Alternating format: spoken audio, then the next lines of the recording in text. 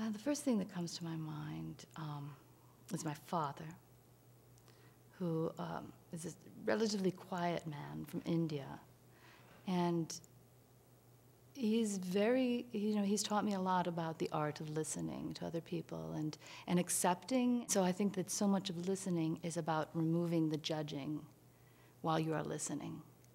You know, just really just being receptive to what someone is saying without saying, oh, they're wrong, and I could tell them why they're wrong. The other thing I think of is a similar lesson I learned when I worked with tribes.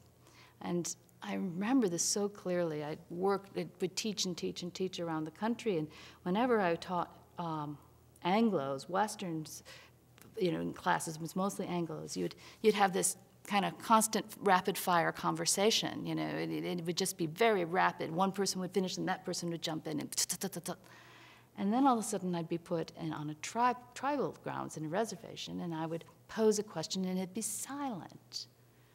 I would sit here and then someone would talk and then it'd be silent and then someone might say something. So I asked them about that. And they said, oh, we're just thinking. We're thinking about what you said after you said it, not while you're saying it. We're just, you know, we're thinking about what our response will be now. And I thought, that's remarkable. We Westerners, especially Americans, have no problems with creativity, you know, but receptivity, which eh, listening, and I connect that to that's what feminism is really about. It's not about equal pay and the glass ceiling. Uh, it's about the capacity to let in, to receive.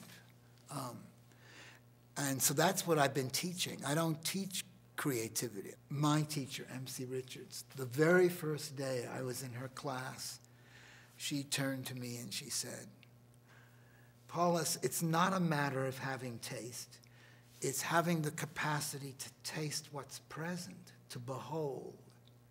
And that was, uh, you know, one of those moments when your life changes. Because my, I have two brothers who are famous artists, and they always said, "You'll never be an artist. You have no taste."